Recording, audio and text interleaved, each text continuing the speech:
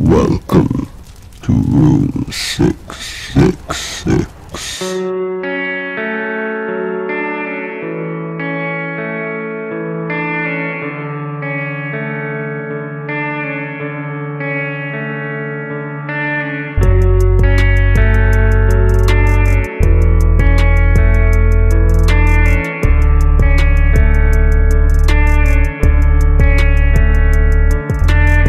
Mist came down on the ground as the sound disappeared. Couldn't hear but the fear in the air and the haunting stares of the den declared in their own nightmares, full of unheard prayers. Caught eyes with me while they cried and screamed. All the cold-blooded sinners and the ghoulish fiends and the non-believers, the kind like me, in their pools of fire. What a sight to see! Then I saw his face through the distant flames, and I held my breath as he called my name.